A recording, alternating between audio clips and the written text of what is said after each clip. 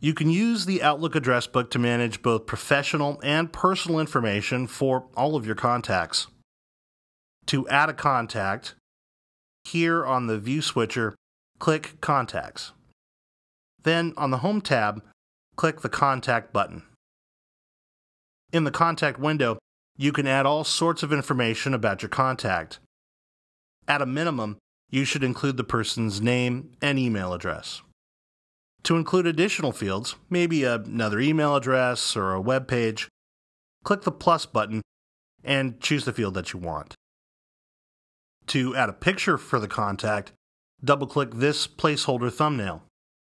Then click Choose and select a picture from your computer. When you add a picture for a contact, all email that you receive from that person will display the picture you selected when you open that email. When you're finished adding the person's contact information, click Save and Close. To see a contact's information here in the reading pane, make sure that the Details button is selected. To add a group of contacts, maybe for a book club or a cycling club, here on the Home tab, click Contact Group. Okay, in the next lesson, we'll compose and send an email message to the new contact.